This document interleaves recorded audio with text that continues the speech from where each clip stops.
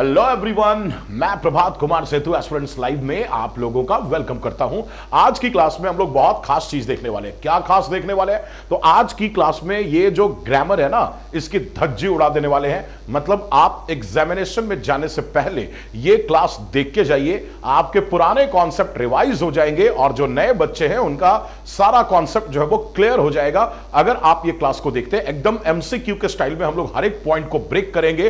Relevant जो concept हो सकते हैं, उन कॉन्सेप्ट्स को भी देखेंगे, ताकि आप कर सके अपने एसएससी के एग्ज़ाम में 100 परसेंट स्कोर ग्रामर के सेक्शन में। वो कैबलरी की क्लास तो पहले से आ रही है ब्लैक बुक की तो वो भी आप प्लेलिस्ट में जाके देख सकते हैं। तो चलिए शुरू करते हैं। देखिए, आज की सबसे पहली क्लास देखो, सबसे पहला ये जो क्वेश्चन है ना हमारा, इस क्वेश्चन में लिखा the government has implemented several new policies ठीक है?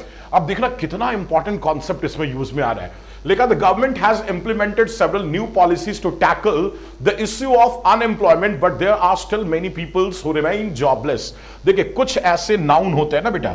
कुछ ऐसे नाउन होते हैं जिनका आप जो है वो प्लूरल फॉर्म अगर बनाते हो तो स्टेटमेंट राइट नहीं क्या होगा? रॉन्ग होगा। अब जैसे यही वर्ड देख लो, आप पीपल तो पीपल का मतलब क्या होता है? लोग। और ये अपने आप में ही कैसा होता है? प्लूरल तो जब ये अपने आप में ही प्लूरल है तो फिर इसका प्लूरल क्यों बनाओगे भैया? यानी अगर आप इसमें एस लगाते हैं तो स्टेटमेंट राइट नहीं, क्या होगा? रॉन्ग हाँ, एक जगह पे पीपल्स लिखा जाता है, लेकिन इसका मतलब हो जाता है नागरिक।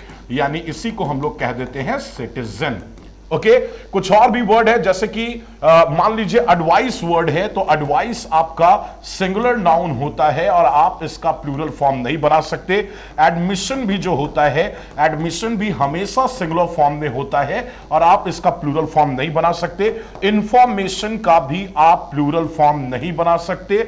उसी तरीके से अगर ड्राउट वर्ड है तो ड्राउट का भी प्लूरल फॉर्म नहीं बना सकते। ये सारे के सारे नाउन जो होते हैं ये सारे के सारे जो नाउन होते हैं, ये सब सिंगुलर फॉर्म में होते हैं। ठीक है?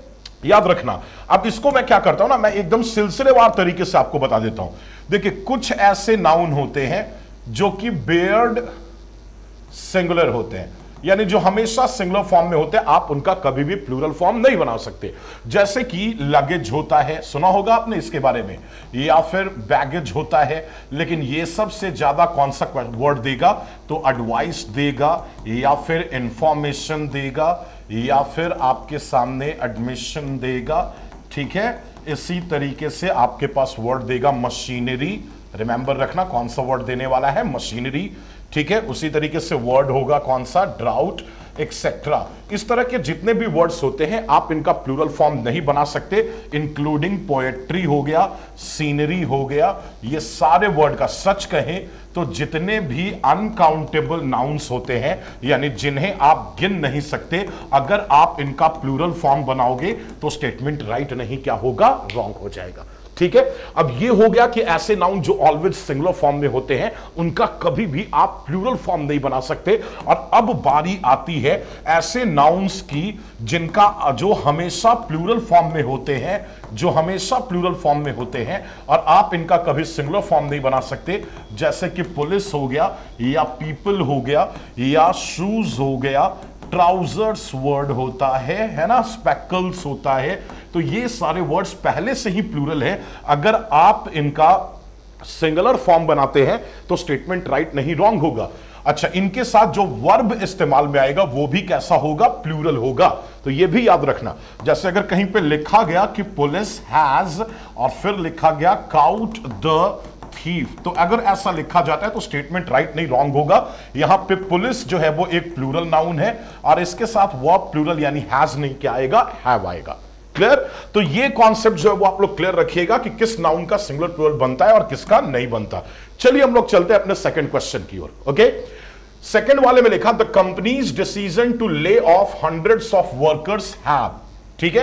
अब देखिए ये सिंटैक्स का क्वेश्चन है सब्जेक्ट वर्ब अग्रीमेंट का क्वेश्चन है। इतना क्रिटिकल इतना इंपॉर्टेंट होता है, क्या बताऊँ मैं, है ना? तो चलिए नहीं, मैं बता देता हूँ। ठीक है, होता क्या है? अगर मान लीजिए बहुत सारे नाउन बहुत सारे नाउन बहुत सारे नाउन अगर प्रेपोजिशन से जुड़े हों प्रेपोजिशन से जुड़े हों तो इसमें जो वर्ब आएगा वो हमेशा किसके अकॉर्डिंग आएगा? फ़र्स्ट वाले नाउन के अकॉर्डिंग आएगा। ओके चलिए देखते हैं। यहाँ पे कंपनी डिसीज़न नाउन हुआ। टू हो गया हमारा प्रेपोजिशन उसके बाद हंड्रेड ऑफ़ वर्कर्स क्या हो गया? नाउन तो जब noun preposition noun preposition noun चलता है तो वर्ब आता है फ़र्स्ट वाले के अकॉर्डिंग और फ़र्स्ट में डिसीज़न जो है वो सिंगुलर है। इसलिए वर्ब सिंगुलर आना चाहिए, यानी कि हैव नहीं, क्या आना चाहिए? हैज़ क्लियर तो एक तो ये कॉन्सेप्ट एग्जामिनेशन में खूब जम के क्वेश्चन पूछता है। ये ध्यान में रखिएगा। दूसरा, अगर मान लीजिए कि एक से ज़्यादा सब्जेक्ट अगर एक कंजंक्शन से जुड़े हो तो आने वाला वर्ब हमेशा किसके अकॉर्डिंग आएगा? फ़र्स्ट वाले के अकॉर्डिंग आएगा। जैसे अगर मैंने लिख दिया राज, और फिर मैंने लिखा as well as his friends ठीक है? और हमें डिसाइड करना है कि हैज़ ले या हैव ले। तो बहुत इजी है, बहुत इजी है। यहाँ एक सब्जेक्ट राज है और दूसरा हिज फ्रेंड्स और बीच में एक कंजंक्शन है एज वेल एज तो इसमें जो वर्ब चलेगा वो हमेशा फ़र्स्ट वाले के अकॉर्डिंग और राज सिंगलर है, इसलिए वर्ब आएगा सिंगलर यानी हैव नहीं, क्या होगा? हैज़ तो ये दूसरा कॉन्सेप्ट है जो सिंटैक्स का बहुत ज़्यादा इंपॉर्टेंट कॉन्सेप्ट है। और एग्ज़ाम में खूब पूछता भी है है ना? तीसरा जो कॉन्सेप्ट होता है कि एक से ज़्यादा सब्जेक्ट हो और दोनों के पहले एक एक कंजंक्शन लगा हो तो वर्ब चलेगा लास्ट वाले सब्जेक्ट के अकॉर्डिंग जैसे अगर लिखा गया इधर राज और हिज फ्रेंड्स अगर ये लिख दिया गया और आगे पूछा गया कि हैज़ लोगे या हैव लोगे तो बहुत बहुत सिंपल सी बात है। देखो, एक सब्जेक्ट राज दूसरा हिज फ्रेंड्स इसके पहले लगा कंजंक्शन इधर और इसके पहले लगा और। तो इसमें जो वर्ब चलेगा, वो हमेशा लास्ट वाले के अकॉर्डिंग चलेगा। जब भी डबल कंजंक्शन आएगा तो लास्ट वाले के अकॉर्डिंग चलेगा। और लास्ट में हिज फ्रेंड्स लिखा गया, जो कि प्लूरल है तो वर्ब भी प्लूरल आएगा, यानी हैज़ नहीं क्या होगा हैव तो ये तीन कॉन्सेप्ट सिंटैक्स का कभी भूलना मत। और इसके पहले जो मैंने कॉन्सेप्ट बताया, कि अगर आप कुछ नाउन देखें तो वो हमेशा सिंगुलर होता है, और कुछ नाउन हमेशा प्लूरल होता है। और जो हमेशा सिंगुलर होता है, उनके साथ हमेशा सिंगुलर वर्ब यूज़ करते हैं और जो हमेशा प्लूरल होता है, उसके साथ हमेशा प्लूरल वर्ब का यूज़ जो है वो करते हैं हम लोग। ठीक है? चलिए, आगे बढ़ते हैं। क्वेश्चन नंबर थ्री की तरफ़। लिखा the report highlights the importance of investigating in renewable energy sources which can helps देखिए वर्ब का ये भी एरर काफ़ी जम के पूछता है। हालाँकि इतना सस्ता एरर है कि मैं क्या बताऊँ। ठीक है? लेकिन समझ लीजिए। देखिए, अगर किसी सेंटेंस में is am are was were be या बिन इनमें से कोई भी एक हेल्पिंग वर्ब लगा हो तो इनके साथ जो मेन वर्ब का, इनके साथ जो और फिर कुछ होता है क्या? जैसे एक होता है हैव एक होता है हैज़ और एक होता है हमारा हैव फिर होता है modals can could may might should would shall will must okay उसी तरीके से अगर देखें तो हमारा होता है आउट डेयर नीड और यूज्ड ठीक है? अब देखिए, होता क्या है ना कि इन सब के साथ मेन वर्ब के लगने का अपना एक फिक्स्ड पैटर्न है, जो आप लोग पहले से भी जानते होंगे, लेकिन जब एग्ज़ाम में क्वेश्चन आता है तो फंसा दिए जाते हैं। ठीक है? अब इनके साथ इनके साथ अगर मेन वर्ब का फॉर्म चलेगा तो वो हमेशा एम बी फोर चलेगा। इनके साथ जो मेन वर्ब का फॉर्म होगा, वो हमेशा थर्ड होगा। और इनके साथ जो मेन वर्ब का फॉर्म होगा, वो हमेशा फ़र्स्ट होगा। और इन चारों के साथ जो है, वो हमेशा पहले टू लगाते हैं और फिर एम बी वन लगाते हैं। तो एक तो ये स्ट्रैटेजी जो है, वो दिमाग में रखिएगा। लेकिन एग्ज़ाम जो होता है ना, वो एक कदम आगे चल के पूछता है। अब देखिए, पहले इस क्वेश्चन को देख लीजिए। यहाँ पे कैन लगा। और जब कैन लगता है तो मेन वर्ब का पहला फॉर्म यूज़ में आता है, लेकिन इसने हेल्प में एस लगा दिया। किसी भी वर्ब में एस लगाने से वो मेन वर्ब का पांचवा फॉर्म हो जाता है, जबकि हमें फ़र्स्ट फॉर्म लेना है। तो जैसे ही इसमें से एस हटेगा, ये एम बी फाइव बदल के क्या हो जाएगा? एम बी वन यानी किसी भी वर्ब में एस लगा दें तो वो एम बी फाइव होता है, एस हटा दें तो वो एम बी वन होता है और कैन के साथ हमेशा एम बी वन लगाते हैं और इस कारण से हेल्प्स नहीं हेल्प का यूज़ आप लोग करेंगे। तो ये तो पता चल गया कि इसमें मिस्टेक है। लेकिन एग्ज़ाम जो होता है ना, वो एक कदम आगे की चीज़ है। वो क्या करेगा? वो कैन का यूज़ करेगा और कैन के बाद प्ले लिख देगा और एंड लिखेगा स्कारसली लिख देगा, ठीक है? और स्कारसली लिखने के बाद जो है वो लिख देगा बीट्स ठीक है? हमारा ध्यान ना इतने पे ही होता है कि चलो कैन है तो कैन के साथ एम बी वन लगा दिया। ठीक है? बट ऐसा नहीं है। वो एक कदम आगे बढ़ाएगा और थोड़ी दूरी पे जाके वर्ब का फॉर्मेट बदल देगा। अब क्या होता है? लोग दूर पे जाके सोचते नहीं है।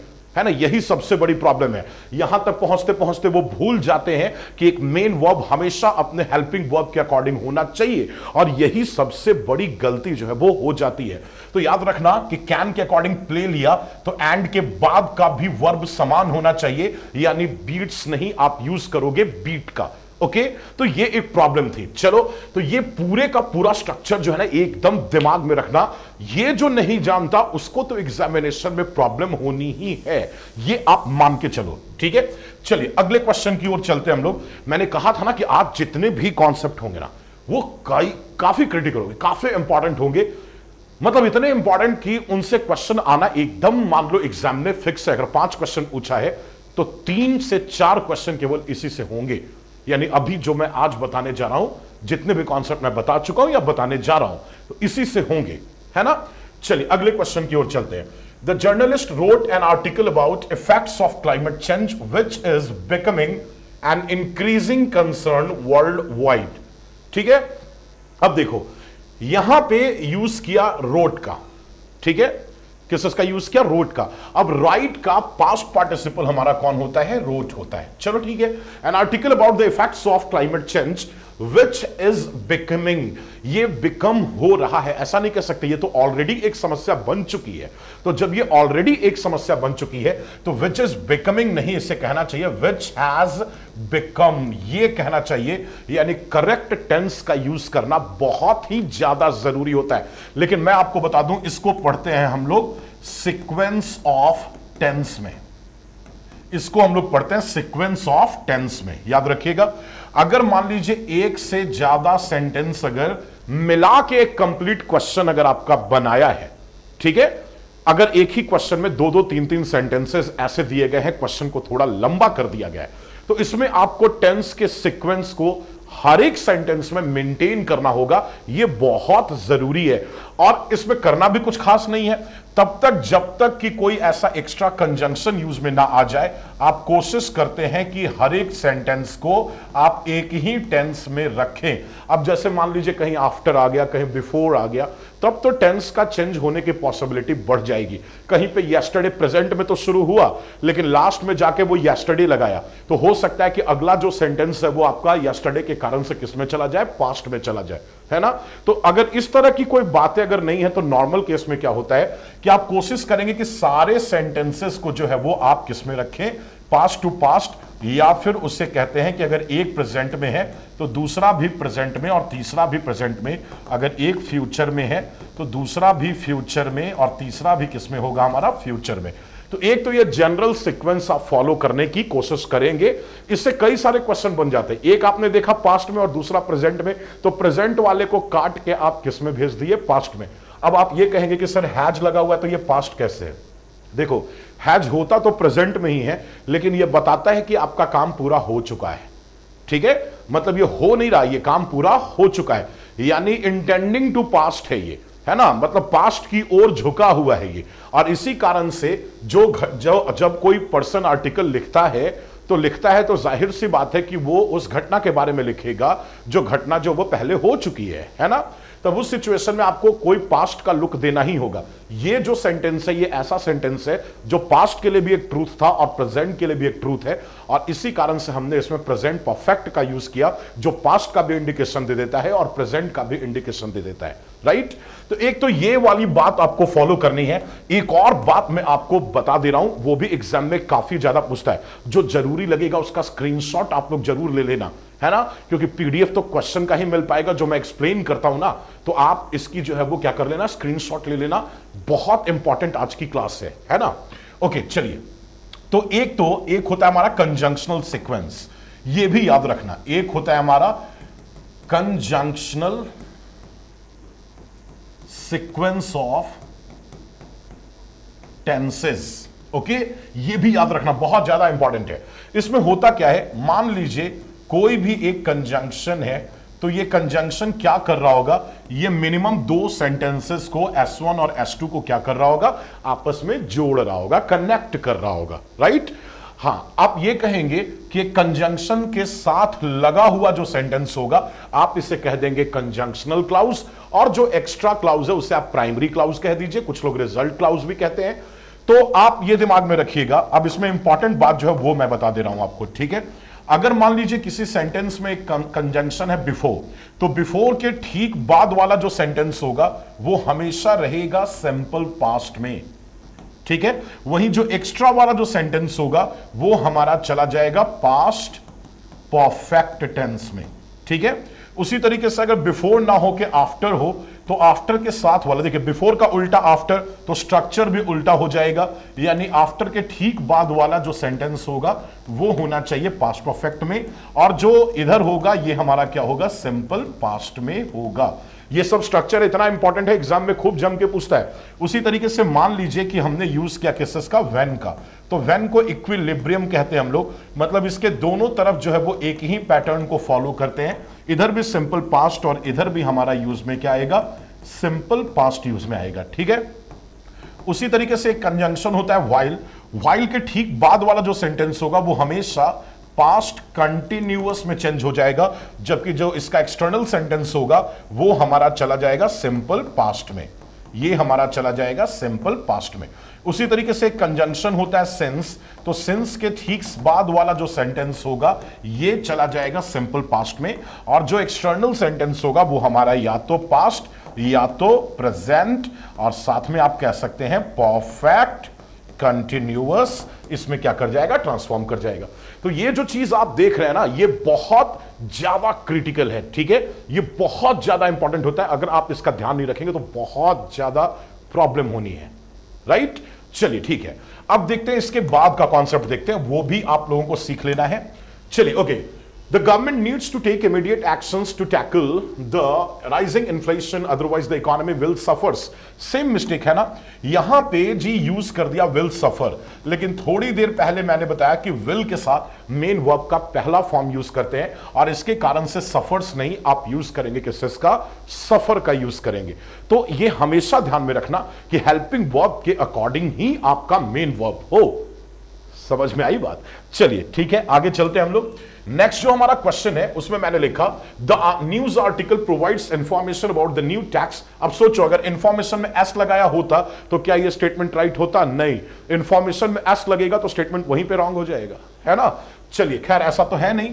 About the new tax regulation that are expected to affect ये प्रॉब्लम बहुत बड़ी है। इसको कहते हैं इंफिनिटिव फुल इंफिनिटिव ये कहा जाता है इसे, ठीक है राइट अब देखो फुल इन्फिनेटिव के साथ क्या है। देखिए टू के साथ हमेशा हम लोग मेन वर्ब का पहला फॉर्म यूज़ करते हैं। तो इसलिए टू के साथ अफेक्ट्स नहीं हमारा क्या चलेगा? अफेक्ट अब मैंने आपको पहले ही बताया कि ये जो टू होता है ना हमारा तो टू के साथ जब एम बी वन लगाते हैं और किसी भी वर्ब में जब एस लगा दोगे तो वो तो एम बी फाइव हो जाएगा। And we need the M V one यानी first form of the main verb ठीक है?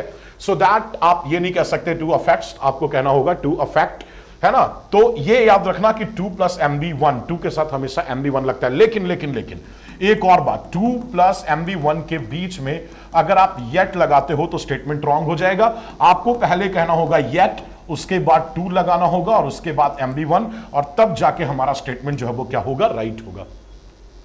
मतलब अगर कोई ये बोलता है कि टू येट गो तो ये रॉन्ग है। आपको कहना पड़ेगा येट टू गो और तभी जाके स्टेटमेंट हमारा क्या होगा? राइट right होगा। क्लियर अब एक और चीज़ मैं बता रहा हूँ, ये जो चीज़ देख रहे हो ये बहुत बहुत बदमाश है, बहुत हरामी है, ठीक है? यट की ना अपनी एक अलग कहानी है और ये चार भागों में बटा होता है। कितने भागों में बटा होता है? चार। सबसे पहला येट का जो यूज़ है, वो एक नेगेटिव सेंटेंस में ही करते हैं, यानी जिसमें कोई नेगेटिव वर्ड पहले से लगा हो। जैसे मान लीजिए हार्डली लगा है स्कार्सली लगा है नो सुनर लगा है ब्ला ब्ला। तो अगर ये सब लगा है तो आप उस सेंटेंस में येट का यूज़ कर सकते हो। दूसरी बात कि सेंटेंस में या तो हैव लगा हो, या तो हैज़ लगा हो, नहीं तो हैड लगा हो। तीसरी बात कि येट का यूज़ ऑलवेज सेंटेंस के एंड में होता है। और चौथी बात कि येट का यूज़ हमेशा to plus M V one के ठीक पहले होता है, बीच में नहीं होता। ठीक है? चलिए एक और बात मैं बता रहा हूँ कि अगर मान लीजिए जैसे मैंने लिखा I have done this work yet अगर मैं ये लिखूँगा तो स्टेटमेंट रॉन्ग होगा। क्यों? क्यों इसलिए? क्योंकि मैंने येट का यूज़ किया सेंटेंस के एंड में। सही है, ये वाला पूरा हो गया। येट का यूज़ मैंने किया, जिस सेंटेंस में हैव हैज़ हैड है उसमें तो भी सही है ये। लेकिन इसमें नॉट नहीं लगाया, इसलिए ये सेंटेंस रॉन्ग है, इसमें नॉट लगाना होगा, ठीक है? तो ये चारों में से अगर कोई भी एक बात अगर नहीं है सेंटेंस में तो स्टेटमेंट जो है वो क्या हो सकता है? रॉन्ग हो सकता है। ये बात का पूरा ध्यान रखिएगा आप लोग, ठीक है? तो येट वाले में ये एक बहुत ज़्यादा क्रिटिकल इश्यू होती है। जब आप डिफरेंसेस के ऊपर बात कर ही रहे हैं तो कुछ और भी डिफरेंसेस मैं आपको बता देता हूँ, यहीं पे क्लियर कर देता हूँ। वो होता है difference difference between very and much ठीक है? वेरी और मच के बीच का डिफरेंस सबसे पहले तो ये दोनों के दोनों क्या है? एडवर्ब है। तो एडवर्ब है तो ये किसकी किसकी क्वालिटी बता सकते हैं? वर्ब की और किसकी क्वालिटी बता सकते हैं? एडजेक्टिव की। ठीक है? चलो। एक काम किया। एक ले लिया मैंने वेरी और एक मैंने ले लिया मच ये कटम कुटम वाला हम लोग नहीं खेलने वाले। ओके तो एक में ले लिया वेरी। वेरी के साथ अगर कोई वर्ब आएगा तो वो वर्ब हमेशा आईएनजी में चलेगा और वेरी के साथ अगर कोई एडजेक्टिव आएगा तो वो हमेशा पॉजिटिव डिग्री में चलेगा। मच के साथ अगर कोई वर्ब आएगा तो उसमें ऑलवेज ईडी लगेगा और मच के साथ अगर कोई एडजेक्टिव आएगा तो वो हमेशा कंपैरेटिव डिग्री में होगा। और इसी कारण से क्या होता है कि अगर कहीं पे लिखा गया वेरी इंटरेस्टेड अगर ऐसा लिखा गया है तो आप ये मान के चलो कि ये स्टेटमेंट राइट नहीं, क्या है? रॉन्ग है। इसके प्लेस पे आपको लिखना पड़ेगा वेरी और वेरी के बाद लिखना पड़ेगा इंटरेस्टिंग और तभी स्टेटमेंट राइट है। और या तो फिर आप लिखेंगे मच और मच के बाद आप क्या लिख देंगे? इंटरेस्टेड तो स्टेटमेंट हमारा क्या होगा? राइट होगा। दूसरी बात यह होती है कि अगर मान लो कहीं पे लिखा गया, वेरी और वेरी के बाद लिख दिया गया स्मार्टर तो ऐसा लिखना रॉन्ग है क्योंकि स्मार्ट में ईयर लगा और ये बता रहा है कि ये कंपैरेटिव डिग्री है। हमें तो चाहिए पॉजिटिव डिग्री तो आप इसे लिख सकते हैं वेरी स्मार्ट लिख सकते हो आप इसे और या तो फिर आप इसे लिखेंगे मच और मच के बाद आप लिख देंगे स्मार्टर और तब जाके हमारा स्टेटमेंट क्या होगा? राइट होगा। ओके तो ये सब जो होता है ना इंपॉर्टेंट कॉन्सेप्ट होते हैं जिनका ध्यान रखना बहुत ही ज़्यादा ज़रूरी है। क्योंकि इनसे कभी भी क्वेश्चन एग्ज़ाम में पूछ सकता है है ना? चलिए, आगे बढ़ते हैं हम लोग नेक्स्ट देखते हैं। नेक्स्ट जो हमारा क्वेश्चन है, उसमें लिखा the editorial emphasise the need for structure laws to prevent cyber crime which has been on the rise of the recent in the recent years ठीक है? अब यहाँ पे क्या लिखा? Emphasise on the need for stricter laws need के साथ इसने क्या लगा दिया? फॉर लगा दिया। ठीक है? लेकिन नीड के साथ आप लगाते क्या है? तो आप प्रेपोजिशन क्या लेंगे? ऑफ़ लेंगे। अगर आप फॉर लेंगे तो ये शो करेगा किस को डिमांड को, जो कि पूरी तरीके से क्या है? गलत है। तो आपको यहाँ पे नीड ऑफ़ स्ट्रक्चर लॉज लिखना होगा। तभी जाके स्टेटमेंट हमारा क्या होगा? राइट right होगा। चलिए नेक्स्ट क्वेश्चन की ओर आते हैं हम लोग। लिखा according to the report the companies profits have been decline देखिए प्रॉब्लम क्या है? यहाँ पे लिखा गया हैव हैव के साथ बिन और बिन के साथ क्या लिखा गया? डिक्लाइन यहीं पे सबसे बड़ी गलती जो है वो हो गई। कैसे? एक होता है हमारा एक्टिव और एक हमारा होता है पैसिव ठीक है? समझ में आ रही है बात? और इसके प्रॉब्लम में बहुत फंसाता है लोगों को। देखो एक्टिव पैसिव में क्या डिफरेंस है? एक लाइन में समझो। सब्जेक्ट ने काम किया सब्जेक्ट ने काम किया, फिर से बोल रहा हूँ सब्जेक्ट ने काम किया मतलब सब्जेक्ट ने वर्ब किया तो ये एक्टिव वॉइस है। और अगर काम, जिसे ग्रामर में आप बुलाते हैं वर्ब अगर ये सब्जेक्ट के ऊपर हुआ तो ये एक्टिव नहीं, ये पैसिव है। फिर से सुनो सब्जेक्ट ने काम किया तो एक्टिव काम सब्जेक्ट के ऊपर हो गया तो ये है पैसिव ओके अब मान लीजिए कि इज़ एम आर है। तो इज़ एम आर या वॉज़ या वर ये सब के साथ हम लोग मेन वर्ब का फोर्थ फॉर्म लगाते हैं। लगाते हैं ना? लेकिन लेकिन लेकिन, जरा समझो। इसी का जब पैसिव बनाएँगे तो इनके साथ बीइंग लग जाएगा और बीइंग के साथ आप क्या ले लेंगे? एम बी थ्री ले लेंगे। तब ये क्या हो जाएगा? पैसिव उसी तरीके से हैज़ हो, या हैव हो, या हैड हो। तो इनके साथ हम लोग लगाते क्या है? वी थ्री और इनके साथ अगर बिन लगा दे तो ये पैसिव हो जाएगा और पैसिव में भी बिन के बाद हम लोग क्या लगाते हैं? वी थ्री तो याद रखना कि ये जब बिन लगता है तो ये V3 का फॉर्म लेगा। यानी कि डिक्लाइन नहीं, ये क्या हो जाएगा? डिक्लाइंड अब आप पूछेंगे कि सर, ये डिक्लाइनिंग भी तो हो सकता था, यानी प्रेजेंट परफेक्ट कंटिन्यूअस भी तो हो सकता था एक्टिव वॉइस में नहीं हो सकता था, क्योंकि इसमें ना तो फॉर है और ना ही इसमें सेंस है, और ना ही ड्यूरेशन का कोई सेंस आ रहा है। इसलिए इसमें प्रेजेंट या पास्ट परफेक्ट कंटिन्यूअस वाले स्ट्रक्चर का यूज़ नहीं हो सकता, और इस कारण से हैजबिन के बाद आप एम यानी डिक्लाइनिंग नहीं लगा सकते। तो ये है हमारा पैसिव वॉइस और पैसिव वॉइस में चाहे हेल्पिंग वर्ब कोई भी हो मेन वर्ब का हमेशा आपको थर्ड फॉर्म यूज़ करना है। और बस इसी कारण से डिक्लाइन में हमने ईडी लगा दिया। चलिए, अगले क्वेश्चन की ओर चलते हैं हम लोग। क्वेश्चन नंबर नाइन ये जो आप सेकंड लास्ट क्वेश्चन देख रहे हैं the journalist interviewed several experts on the subject who share their valuable insights and opinions अब देखो इसमें क्या है। हमने बोला the journalist interviewed several experts on the subjects who share their valuable insights and opinions अब एक्सपर्ट्स ऑन द सब्जेक्ट थोड़ी होता है, ये तो सिंपल मिस्टेक है। Experts of the subject experts of the subject उस सब्जेक्ट का एक्सपर्ट तो का के सेंस में ऑन नहीं लगाते, क्या लगाते हैं? ऑफ़ लगाते हैं। तो इस कारण से ये क्या हुआ, हमारा रॉन्ग हुआ। चलिए नेक्स्ट क्वेश्चन की ओर चलते हैं। Question number ten the news article discussed the impact of technology on job opportunity which are rapidly changing same mistake लिखा गया which are rapidly rapidly changing ठीक है? तो ये यूज़ कर रहा है एक्टिव वॉइस लेकिन यहाँ पे क्या है? ये जो अपॉर्चुनिटीज़ हैं, ये खुद ही बदल रही हैं. ये अपॉर्चुनिटीज़ किसी और को नहीं बदल रही, बल्कि ये सारे अवसर खुद ही बदल जा रहे हैं. तो जब सब्जेक्ट करे तो एक्टिव और जब सब्जेक्ट के ऊपर ही हो जाए तो पैसिव वॉइस यानी यहाँ पे पैसिव वॉइस होना चाहिए था। और मैंने आपको पहले ही बताया था कि पैसिव वॉइस में चाहे हेल्पिंग वर्ब कोई भी हो मेन वर्ब का हमेशा तीसरा फॉर्म यूज़ में आता है। और इस कारण से चेंजिंग नहीं आप यूज़ करेंगे चेंज्ड का। क्लियर तो ये आपने टेन क्वेश्चंस के थ्रू आज वर्ब के जितने भी तरह के इश्यूज़ क्रिटिकल इश्यूज़ और प्रॉब्लम्स होती है, उनको आपने देखा। एक और क्लास हम लोग वर्ब का तुरंत लाएँगे, जिसमें कि बचे खुचे हुए वर्ब से रिलेटेड वर्ब में एक चैप्टर नहीं आता। वर्ब में क्या क्या था सुन लो। वर्ब है नॉन फाइनाइट्स है फाइनाइट्स है, ये सब तीन तीन चैप्टर हैं, और फिर सोचो टेंस है वॉइस है नरेशन है है ना? सेंटैक्स है सब्जेक्ट वर्ब अग्रीमेंट ये सारे चैप्टर मिला के मैं वर्ब बोल रहा हूँ। और अगली क्लास में क्या करेंगे? बचे खुचे हुए सारे टेंशन और सारे टेंशन मतलब समझ लो।